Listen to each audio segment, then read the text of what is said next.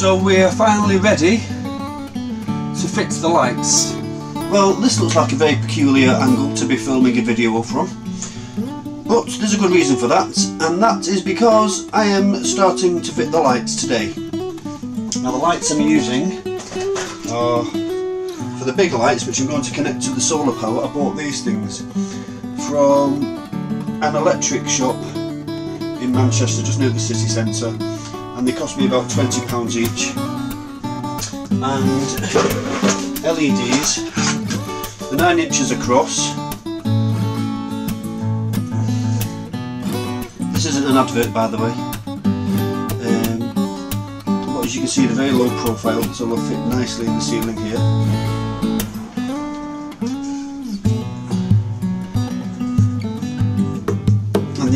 connected to the solar power and the battery system that I'm going to put in. I'm also going to be fitting these lights which are part of the Oh, hello! Hello! um, these are going to be part of the 12 volt system that's already in the van. Um, the lights that used to be in the minibus across the ceiling I've taken the lights off but I have the wires still and I've already tried these and these work fine. I'm going to be using uh, two lights for each wire where there used to be one light and I've tried it and it works very well. So they'll just be operated from the um, light switch in the cabin area. They're just emergency lights really. I'll show you how it goes fitting them taken me quite a while, probably about an hour and a half, getting exactly where I want to put the lights because of the beams that run across the ceiling all the way down. So I've had to measure very carefully. I'm also going to be having a bit of a shelving unit here above where I put in the kitchen. And there's a beam there, and the shelves there, so I've had to put it dead centre, which is just there. So there is one of the marks that I've made and what I've had to do is I've had to measure across the van there to get the dead centre and then I drew a line all the way to the back of the van. And the same with the line that's horizontal here I had to measure the same distance from there to here and from there to here making sure that also that these for the smaller lights are right in the centre of the beam that runs across. Now the beam in this van runs there. So I've had to put the lights, not very good showing you with this little camera. But anyway, there's going to be a bit of a shelving unit going up here. So I've had to put it dead centre between the shelving unit which comes to there and the beam which is here. So the light's going dead centre there. Uh, but there's a line horizontal, there's a line that way and I've got the dead centre which is there. So these lights will be going there and the 12 volt lights on either side of them just there and obviously on the other side. Now I wanted matching but I could not get these in white and I could not get those in silver so it's going to look a bit odd unless I can figure out how to take this apart and spray this one white which I just had a good idea I hadn't thought of that before but I may just do that what do you think, does it look odd? One of those on either side? Or does it not really matter? About that. But anyway, that's what I'm going to be doing today. I am going to be removing the ceiling panels to cut the holes out and fit the lights. So, let's go!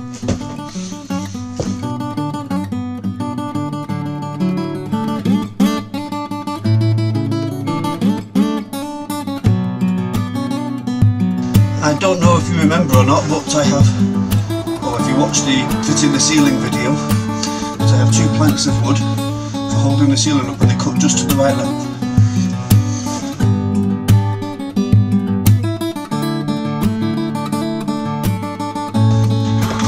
Don't forget to keep all the screws that you've been using nice and safe.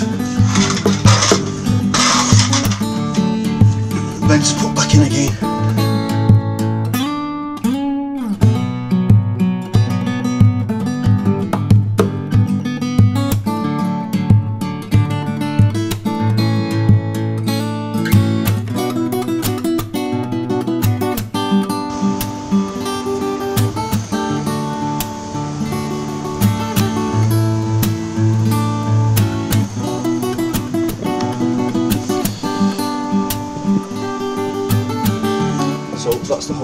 That I'm going to be drilling out and I'm going to be using one of these things. Um, that's just the right size for the small lights. Uh, but I'm going to use it for the big light too and then use a jigsaw to cut around what I need to do.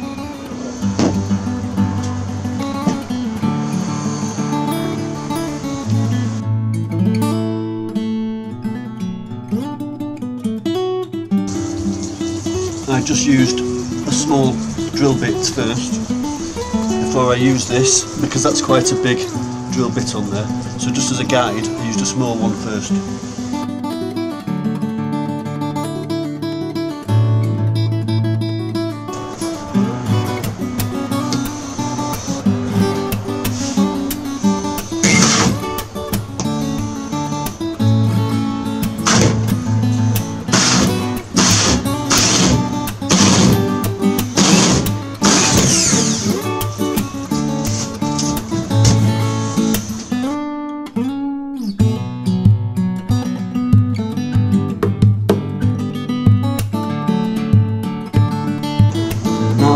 Going to tidy up the holes using these things. I don't know the name of them.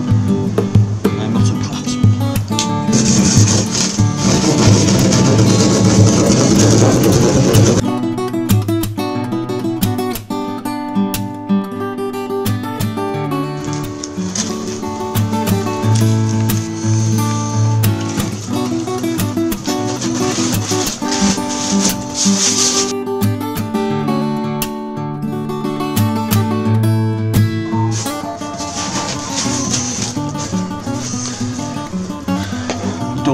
Actually to tidy that one up, that one's going to be bigger.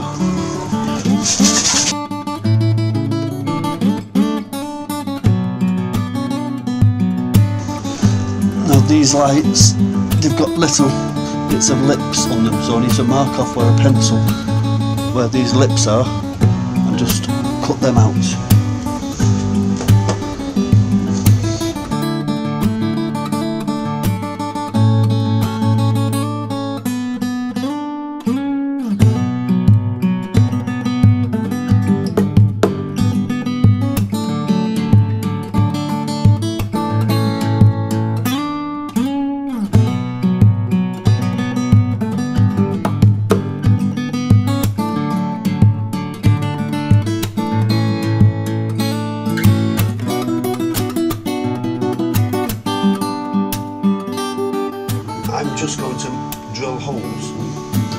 Ceiling uh, where I'm putting the lights so that there's uh, marker holes in the silver insulation that's on the ceiling underneath so I know where to cut round on the inside also for the lights snugly inside.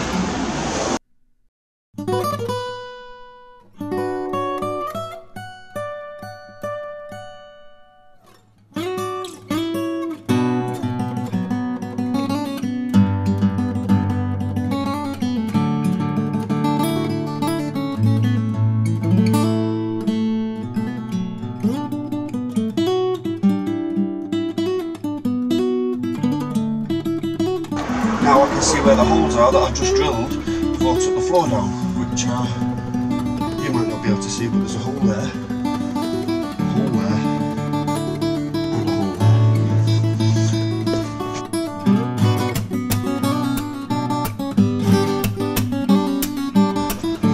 So that's all I'm going to do for now. Once, it come, once I've fitting the lights, I'll do it properly. That's just as a marker now. Okay, so I'm going to cut the holes out of the big piece of plyboard now for the lights.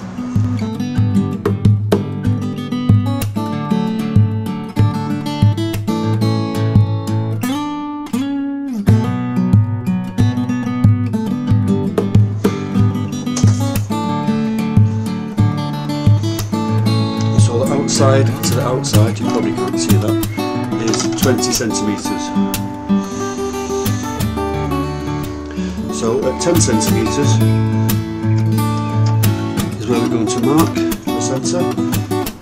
Mark out 10 centimetres on the compass.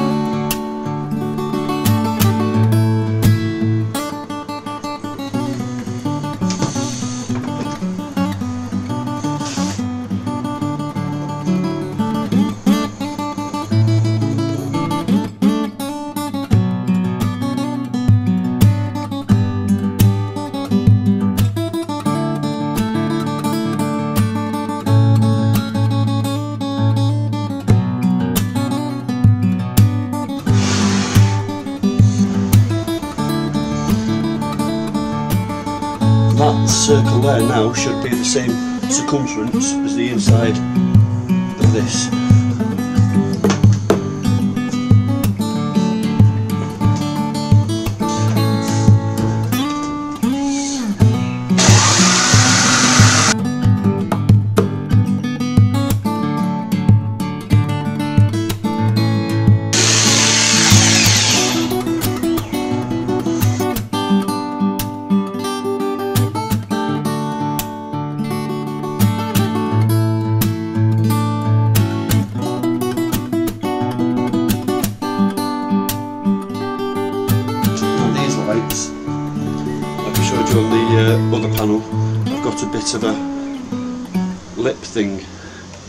Either side, so we need to take those out.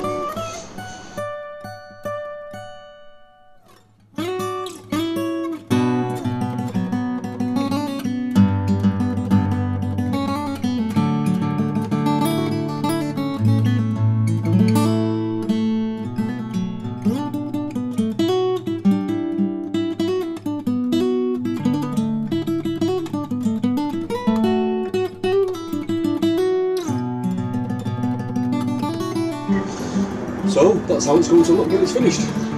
Except this is going to be painted. On to the next job.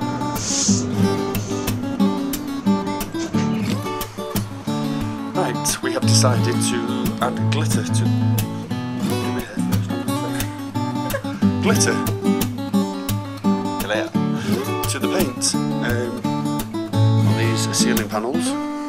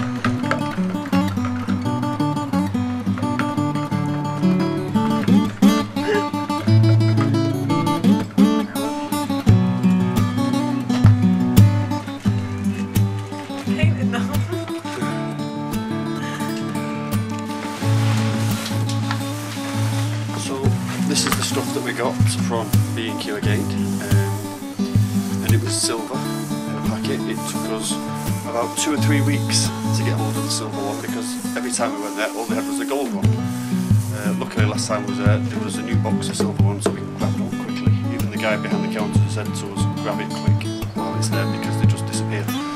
Um, so that was how much was that? No, it wasn't. Was it?